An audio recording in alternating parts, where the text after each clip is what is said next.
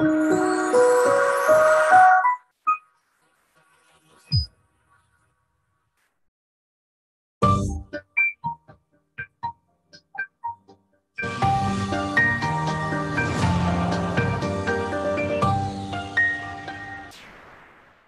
Hello and welcome to Space here from the Center for Astrobiology in Madrid. The scientists here spend their time looking for signs of life on other moons and planets in our solar system, and they do so by taking samples from the most extraordinary places.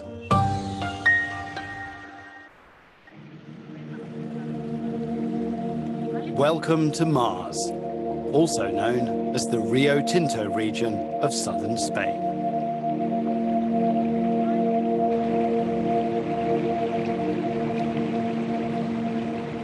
Is like Mars because the kind of minerals that you find here have been reported on Mars. I mean, uh, in, from the uh, geochemical and from the mineralogical point of view, this is Mars on Earth. Scientists have been coming to this Mars on Earth for 30 years to study the life forms here.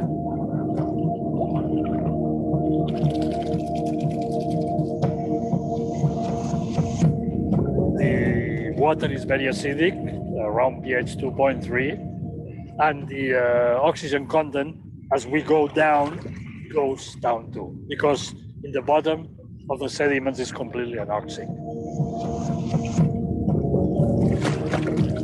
The big discovery at Rio Tinto is that the iron oxide and sulfuric acid in the water are actually produced by life forms deep underground living in pores in the rock. And here they are, iron-eating single-celled organisms. They're in complete darkness, and the life down there doesn't rely on light in any way. Moreover, we could describe it as an oligotrophic environment. That means there isn't much to eat for the microorganisms to survive. Nevertheless, when we started just a few years ago to look at the subsurface, we found there really is lots of life down there. The samples from the Rio Tinto are analysed here at the Centre for Astrobiology in Madrid. They use them as a reference point to study what life could be like on other planets and develop devices to detect it.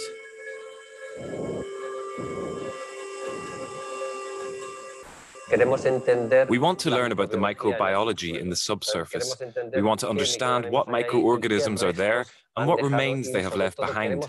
Above all, because we want to test the instrumentation that we have developed to look for life on Mars. If this instrument works in these conditions, where the concentration of life is very low, we think it can also work on the red planet. Mars isn't alone in attracting attention. This place, Jupiter's moon Europa, is another favourite for astrobiologists. A decade from now, Europa will be explored by ESA's JUICE spacecraft. It's a hotly anticipated mission here at the agency's astronomy base near Madrid.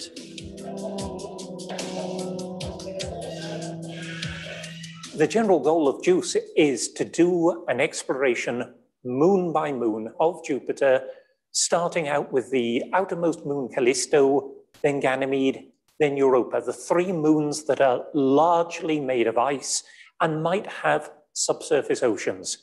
And the idea is just to understand those moons. There are intriguing hints about them that they could be much more interesting places for life than ever, anyone ever imagined a few years ago. Even Saturn's moon Titan has become a target for astrobiologists ever since ESA's Huygens probe found liquid methane and ethane on its surface in 2005. Titan's atmosphere has huge amount of methane. Where does that come from? And one of the crazier theories that's around is that there might be large amounts of bacteria down underneath the surface and they are producing the methane that fills the atmosphere of Titan. Most theories now imagine life existing within the dense, salty oceans beneath the crusts of these icy moons like Europa. And in this lab, the researchers try to recreate those conditions and then study the chemistry of those environments.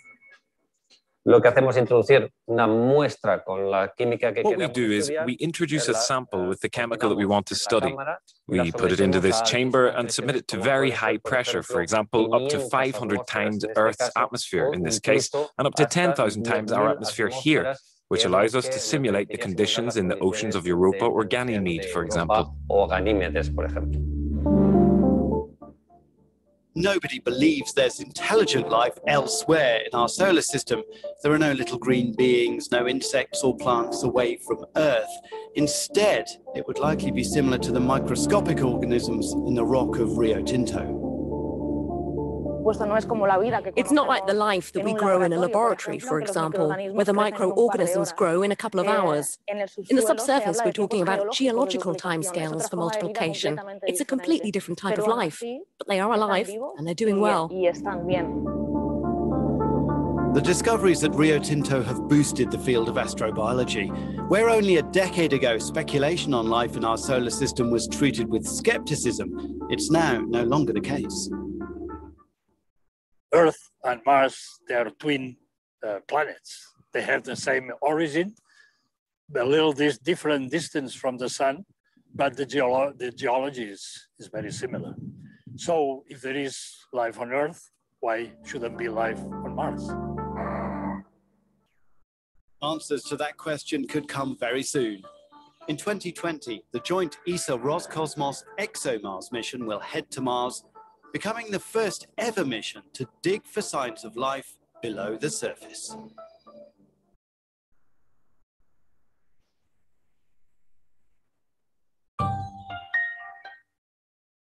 And now to the part of the show in which we take your questions about the universe and put them to the experts using the hashtag AskSpace. Now, I'm joined via video link from Houston by astronaut Paolo Nespoli. Hi, Paolo. We've had a question from Michael Kinzer from the United States. He would like to know how astronauts are preparing to deal with long periods in weightlessness and with high radiation on journeys to places like Mars.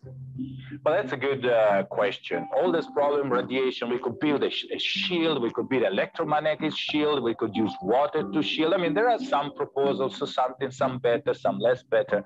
I think think the important part is isolation and confinement.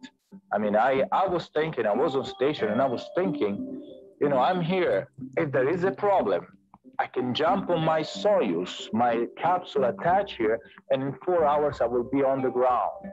What about if I'm on Mars? What are you going to do? I mean, and, and, and, and this starts working in your brain even before you have a problem. So, all of this, we need to understand all of this and prepare. And this is what we're doing on the space station. And, uh, and, and again, I'm pretty sure we will understand all of this and we will go to Mars. And I will sign up if I can. Please sign me up. Well, thanks very much, Paolo. Well, you can send your questions about the universe using the Ask Space hashtag, and we'll try to answer them. And in the meantime, you can keep up to date with other news from the universe on Euronews.com.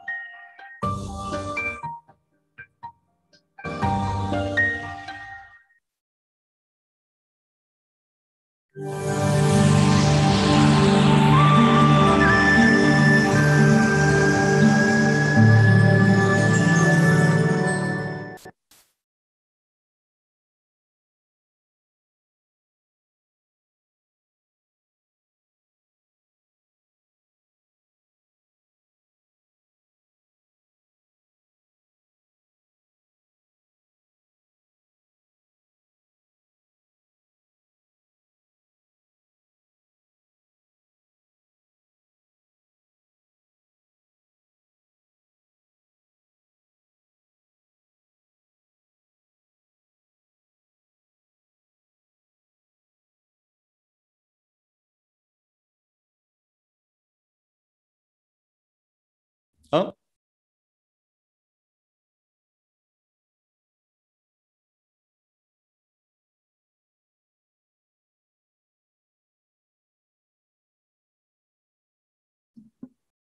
You guys hear me now? I think you do. Okay. All right. Sorry, I have myself muted. Um, anyway, uh, yeah, that's right. Is the volume good? I mean, does it sound all right?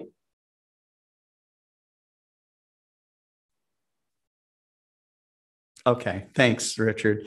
All right. Um, uh, as I was saying, I said I, I, I you know, I, have put together this program uh, as part of my kind of learning process to learn microscopy and uh, more about microorganisms. I think that mostly because as an amateur astronomer, I am very, very interested in astrobiology. And so, you know, I felt that, uh, you know, it would be exciting to uh, start exploring the other side of the universe uh, and, uh, and seeing um, what is, uh, you know, hidden from my view as far as something being very tiny. And, uh, you know, it also helps expand my appreciation of uh, the cosmos in general because as i've mentioned before the universe doesn't start start and stop by looking up at the stars you know it's everywhere and um, so um, uh, I uh, today I discovered uh, that um, I had a culture of paramecium uh, or paramecia that had large. I mean, the the population has just exploded. And um,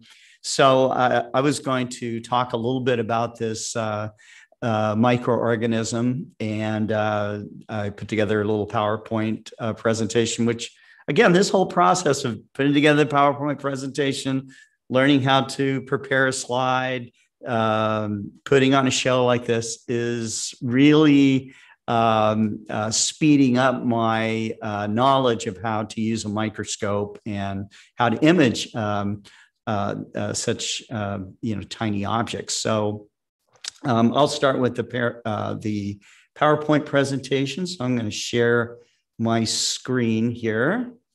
I, I, guess before I do that, I should recognize you guys on on the show today. Um, so uh, uh, we've got Richard Grace with us. Um, uh, we've got uh, Clear Light 58 here. Book Davies is with us. Um, we've got Mike Wiesner, uh, Cameron Gillis, uh, Harold Locke, um, Beatrice Hines, um, who is also interested in astrobiology.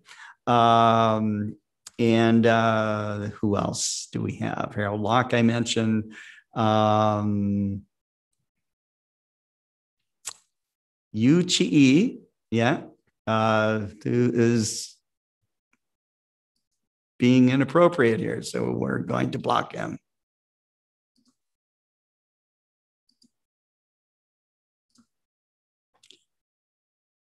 So anyhow, um, and uh, uh, we, um, so let me get into the program with you and uh, we'll learn a little bit more about paramecia uh, together.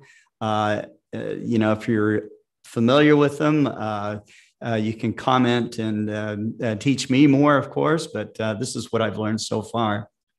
And so um, here we go. Now, paramecia were discovered in the late 1600s. Um, uh, guys like uh, Leeuwenhoek and uh, uh, Christian Huygens were among the first people to actually see these things.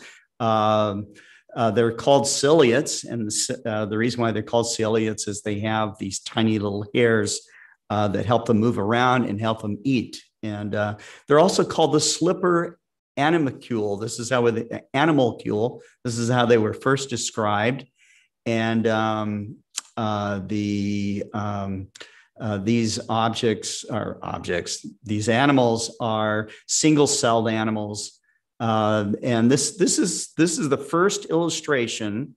Um, you know, I love seeing this kind of historical stuff. This is the first illustration of paramecium. This was uh, by an anonymous artist. He did a nice job uh, showing the cilia, which are the fine hairs that uh, the paramecium used to uh, you know, they they whip the cilia in one direction and then they recoil them, and this is how they move around and and dart back and forth and uh, find their way through water. Um, I don't know how many species there are of paramecium or paramecia, but uh, there's quite a few. Um, and uh, uh, these things are tiny. Uh, they range in size from 0.0020 to 0.0130 inches in length. Uh, they're, they're very, very small. They're single cell. Uh, you can see the illustration here. There's uh, you can see the tiny hairs, which are called cilia. The wall, uh, which is called a pellicle, uh, is um, you know it's elastic, but it's they, it's described as stiff. Uh, when you see the the paramecium moving around in water, uh, you can see them flip and twist and and bend. So they're you know it's quite flexible. Um, it has an oral groove, okay, and the cilia themselves uh, kind of attract food and move it down towards its uh, uh, what would be described as its uh, mouth, and um, and then they move into uh, uh, these food vacuoles, and so inside of the this this paramecium is um, is cytoplasm, and cytoplasm this cytoplasm has enzymes in it which dissolve the food and pass on the nutrients.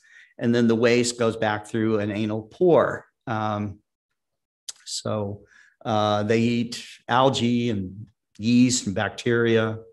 Now, the, the, the beneficial part of paramecium in nature is they keep um, algae and bacteria and other uh, uh, you know other um, uh, organisms in check okay uh, in in water you know so in our ponds and rivers and uh, and i think maybe there's even in the sea um, uh, the paramecium uh, are part of the balance of life. Um, and they also ingest uh, tiny particles of you know they didn't really describe what these particles might be or why they might choose one over over another but uh, they keep the water clean and um, and apparently keep it safe. And so it's the benefit to humans. Um, i found that the uh, life cycle of a paramecium and its uh, uh and its phases are really interesting uh, they can self fertilize and reproduce asexually through something called spontaneous binary fission. Okay. And so this illustration shows some of the binary fission happening where they, um, you know, they make uh, copies of uh, their macronucleus, which has uh, information to control their non reproductive functions. And then they have something called the micronucleus, which has the genetic material. Um, in just a spontaneous binary fission, what will happen is, is that they just make copies eh, of themselves and and and go on down the road. Uh, they also uh, will have conjugation. They'll have uh, sexual conjugation, and they will exchange genetic material. Now, why they do this when they can just spontaneously reproduce? Um, uh, is for maybe a couple of reasons. One is is that um, uh, it would depend on how much food there is, you know, and I guess with certain sh- with a shortage of food, they're going to start um, uh, uh going through a sexual uh, process. If um, and then there's another problem where you know paramecium they can only go through about two, I think it's like 200 fission uh, separations before they start experiencing a lot of DNA uh, damage. Um, the um, you know the so I'm I'm very curious about the aging process and lifespan of of paramecium, but I'm also th- this uh, process of meiosis, uh, where in this process, and I have to learn more about it, uh, it can rejuvenate and repair DNA. And maybe that's something that uh, scientists, you know, are learning about for, on the aging process of humans. I'm also fascinated that paramecia can learn, okay? And they have experiments where they have trained, yes, they've trained paramecia. So somebody out there, uh, some scientists maybe have some pet paramecia, okay? But um, but that is uh, the um, let me run let me run through my slides here. I forgot to share them. Yeah you're right. It's a busy day. Here we go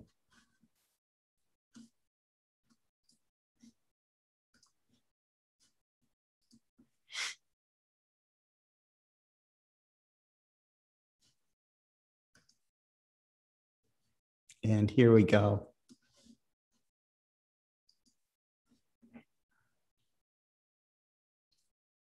So this is this is the illustration, first illustration of paramecia, um, made in 1703. Um, uh, you know, I love it that Christian Huygens, amateur astronomer, was involved in uh, describing them and was so involved in uh, uh microscopy uh, so early on. So, you know, astronomy and, and microscopy are um, are definitely uh, uh, you know, hand in hand in the development of, uh, of exploring the unseen world. This is the illustration here so showing the cilia, the pellicle, um, the oral groove, um, uh, you know, the cell mouth, also the food vacuoles where the food is absorbed into shows the, the area where the cytoplasm is. And in the cytoplasm is uh, our enzymes that digest the food. And then the waste goes out, out through the anal pore of the paramecium. I know that paramecia are, you know, they're predatorial. Uh, they will uh, go and hunt and attack um, uh, to find their food, and they eat uh, yeast and bacteria and um, I guess, some algae as well. And this is the process showing conjugation, uh, binary fission. Uh, you know, so their their process, uh, they don't have to go through sexual reproduction uh, to reproduce. In fact, mostly they don't. Um, but uh, they um, definitely uh, uh, will do it uh, depending on, you know, it seems like the trigger is when they start to have food sh- shortages. And, um, you know, so they'll temporarily fuse together and they'll exchange genetic material. And we have something, uh, paramecium, that is, uh, you know, uh, genetically richer. Um, but also, you know, they, it, it paramecium, there's all different kinds of species. They have to be, um, compatible species. So that's that's the other part that is interesting to me. And then, as I mentioned before, uh, we talked about the aging process and lifespan a little bit. This process of meiosis, uh, which I still have a lot to learn about uh, uh for rejuvenation and repair of um, paramecia DNA, uh, which is interesting. And I think very, very fascinating. I mean, this is just a single cell animal with uh, apparently no brain, okay, uh, but it it can be trained and can learn. So, so there we go. Sorry about that. Okay, so I've got my microscope over here prepared, and I am going to um, I'm going to put a fresh sample onto the uh, slide here. You guys bear with me for a moment. Here we go.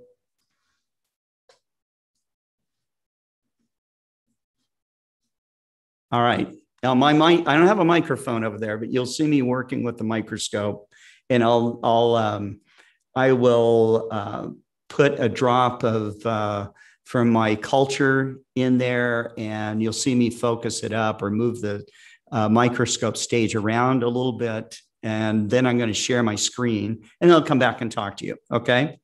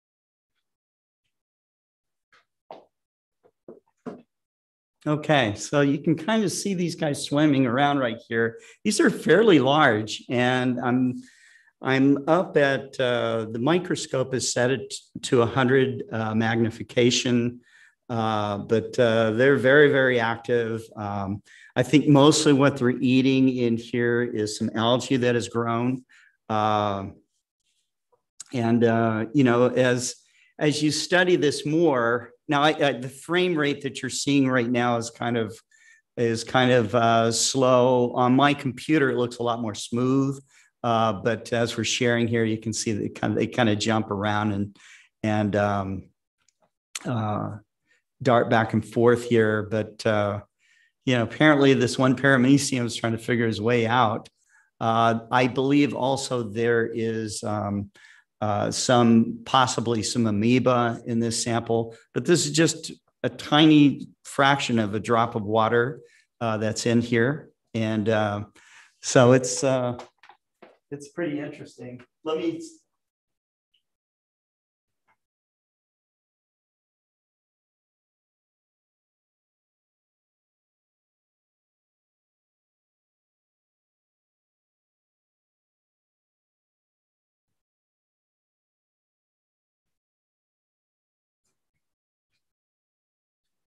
Now, in this view right here, uh, the paramecium that you see kind of stationary down towards the lower right, um, if you look carefully, you can see the cilia that's around it. And it's just, he's kind of stationary sitting there. Uh, you can see uh, food vacuoles uh, there and, um, uh, you know, the different parts of the, of the paramecium that I described before. I don't know what species this particular uh, group is, or, or, if indeed maybe they're mixed species. They could be. Um, but uh, it is pretty fascinating. And um, oh, here comes one up from the bottom. I had another sample that I was looking at earlier today and I think in this one sample, there were over a hundred of them kind of all glommed in there together.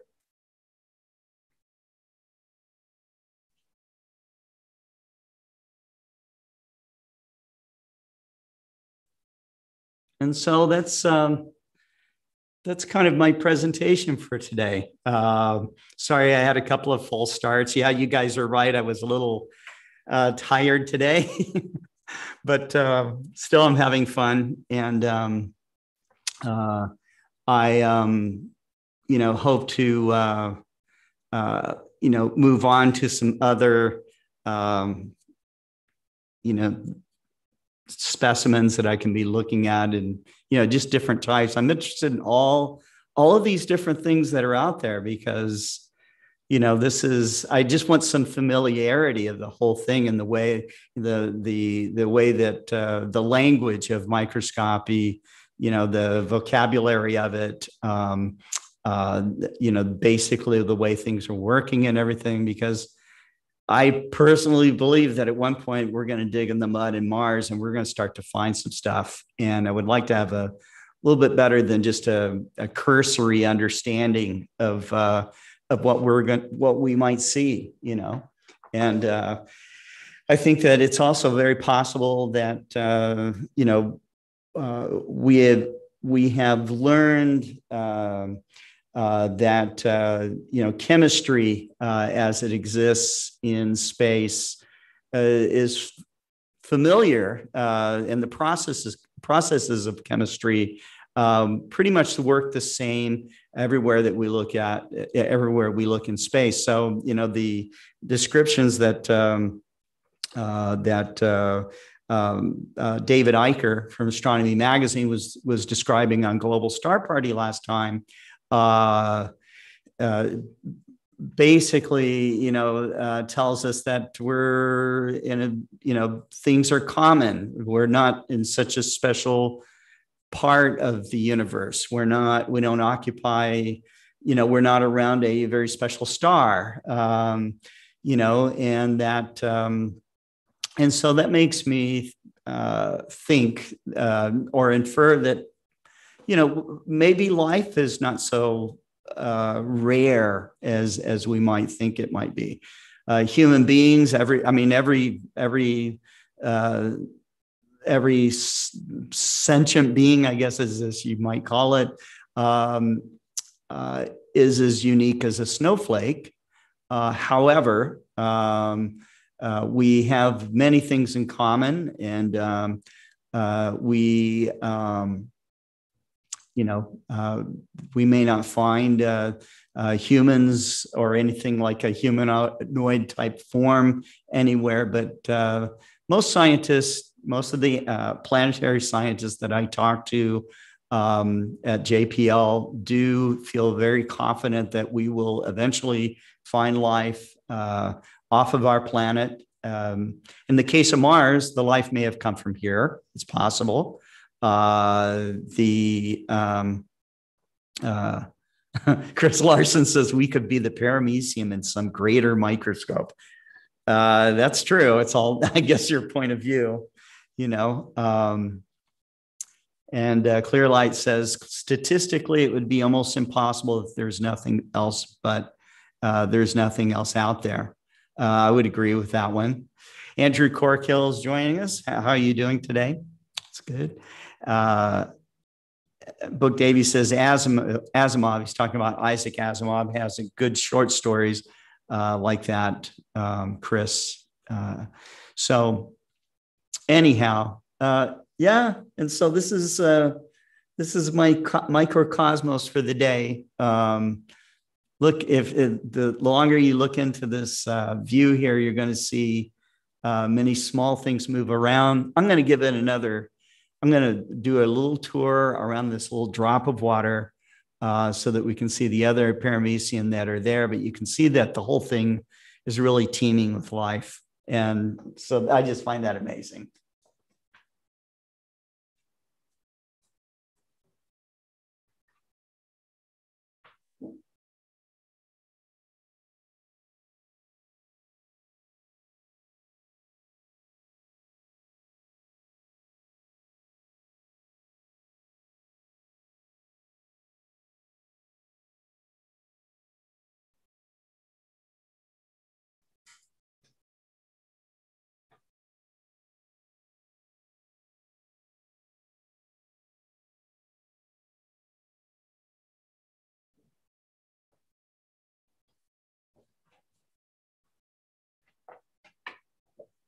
Okay, I've kind of zoomed up here and you can see uh, you can see the fine cilia on this, this one right here, this paramecia.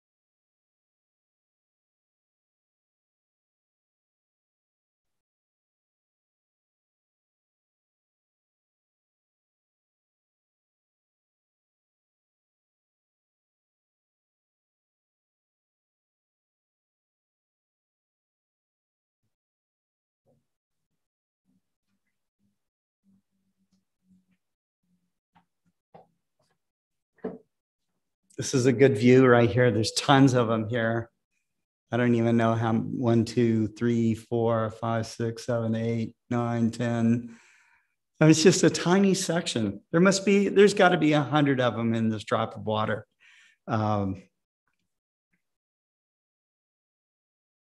so anyhow, I, I just, uh, I love it. I think it's cool. Um, and, uh, you know, remember paramecia are your friend, you know, they're the guys keeping the, uh, your uh, ponds and, and, uh, uh, bodies of, you know, standing water for sure, uh, cleaner and, uh, with less harmful bacteria and stuff in them. So, and Steve wants to know, am I using polarized light? No, I'm not. I'm just using the white light. Um, yeah, there's no social distancing. yeah, apparently Paramecia do not know that there is a COVID pandemic going on. So, um, but uh, yeah, look at that one. He just kind of, he's getting out of there now. He decided he had to leave. So I'm just, it flabbergasts me that paramecia can, can be trained, you know, so there's, I, I have to learn more about those experiments. Um, but it is possible. Uh, when you see them uh, attack something, I mean, you know that, uh, that something's happening, you know, they're, they're not just kind of accidentally doing things. So, someday they will be employees of Explore Scientific. if I could get them to work, mean, right now they work, they're doing everything for free. You know, I didn't have to have them sign any kind of uh, releases or anything, you know, so. Um, Steve says if there's a polarizer, you should use it. You'll get better depth of field and some color. Uh, actually, yeah, I you know, I noticed that you can get, um, uh, you know, certain uh, a greater depth of field if I stop down the uh, the uh, uh, light condenser and um, and you know, there's a lens that's just underneath the uh, the specimen slide that I can adjust the the aperture and just like on a camera, you know, you stop it down. Of course, the light is not as intense um, but uh, depth of field does increase. I will have to use a polarizer and learn, you know, put, I think there's a little filter drawer on this uh, and have to figure that out. So um, I also have a uh, dark, a dark field uh, device and I can try that out and show you how that works.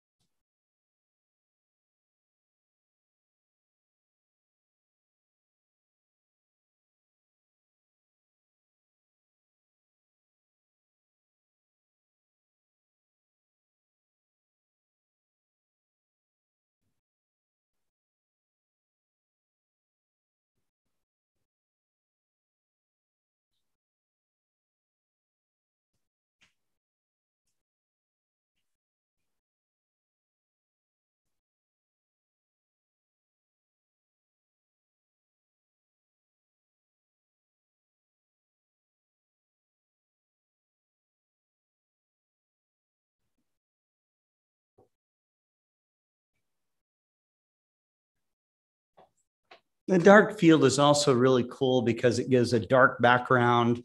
It side illuminates your specimens. And so you can see a lot different contrast this way. Uh, so this is, uh, this is an interesting uh, device to put onto the microscope. Um, it, um, it does require that you increase the exposure time uh, or light intensity. So now I have the iris of the illuminator wide open. And uh, um, you know my depth of field is now a lot shallower. Okay. So focus is a lot more critical. Um, and uh, you know so that's that's it. So you can see there's guys darting over and under uh, the specimens. I kind of have more clearly focused. Um, but uh, it makes it makes the edges kind of glow and all the uh, features kind of show up um, a little bit better in some regards. It's like looking at almost like a negative uh, view, but um, uh, dark field illumination is very handy. And uh, so, but I will have to try out a polarizer and uh, see what that's like. The other thing I have not tried yet is fluorescence microscopy. So I'll have to at one point get into that and um, and see you know what what that's all about. But um, step by step, you know, I learn more and more. So um, I'll go back to a um, uh, not sharing the view, and uh, we'll close.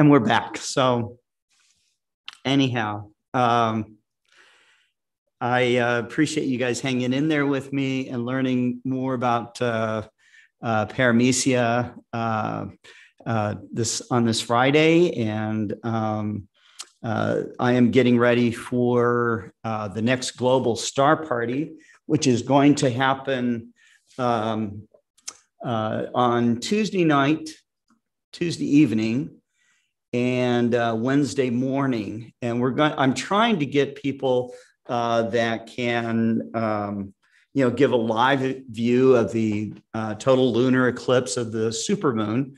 It's going to be the only lunar eclipse of 2021. So.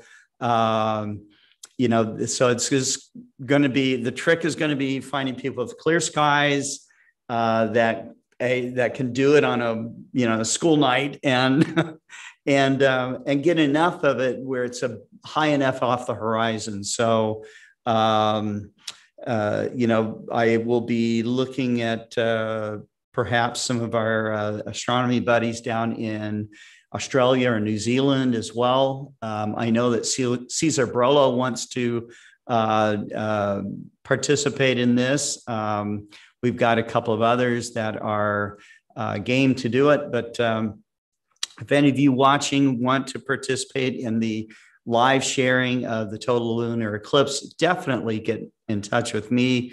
You can uh, email me at s at explorescientific.com, and I will put that in the message down here. Oh, by the way, someone received an email from someone purporting to me be me, okay? Uh, said Scott Roberts, founder and president, or president and founder, and it was an urgent uh, request uh, for you to share your cell phone number, and um, and then upon doing that, you would get a text message uh, from someone saying that it's me, um, that um, uh, I want to sell you two five hundred dollar, uh, you know, gift cards so, sorry, folks, I don't sell the gift cards. so anyhow, but um, uh, definitely email me about the, um, uh, you know, if you're interested in participating in Global Star Party on Tuesday, and uh, especially the live view on early, early Wednesday morning here in the, in the United States, uh, will be either afternoon or perhaps a little bit later in the evening for some of you around the world. So, um, and that's my program for today. I hope you guys have a great weekend. Uh, Arkansas has had some rain, uh, but it looks like it might clear up a little bit. So I'm looking forward to a good Saturday and Sunday. Um, and until uh, Global Star Party, we'll see you then. Take care.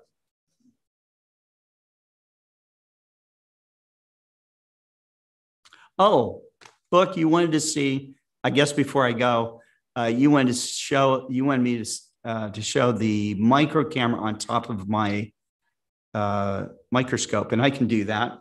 Hang in there. I'll, I'll uh, I think we're still sharing.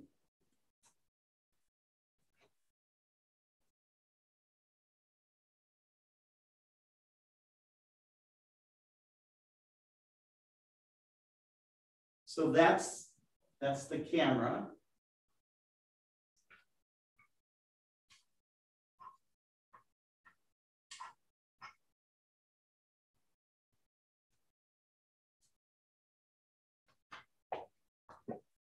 So this is the camera. It's a Bresser Microcam 2. It's a 3.1 megapixel uh, camera.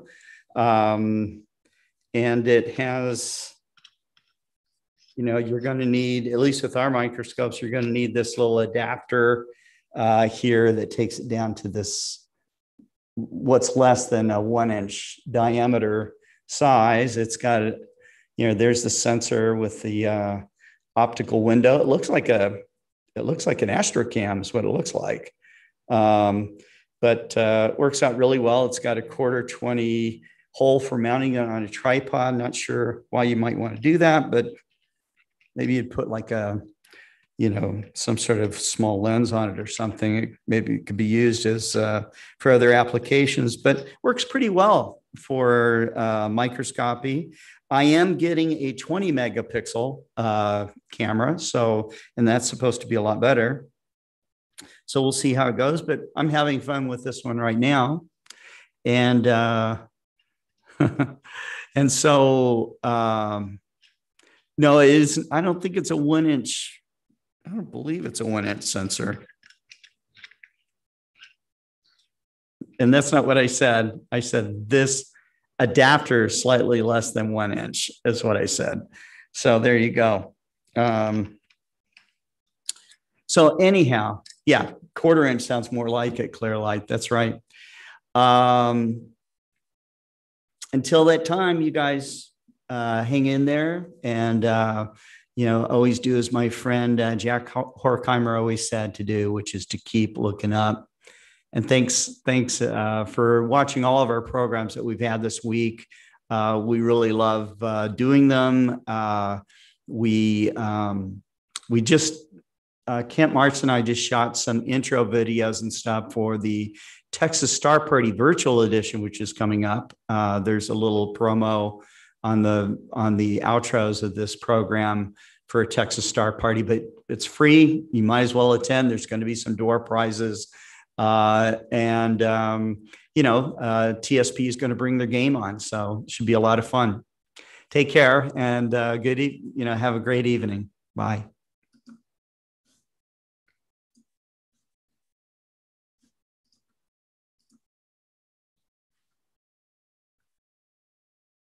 Hey, everybody, Scott Roberts here with Mike Hatch, and we're here at Explore Scientific Live.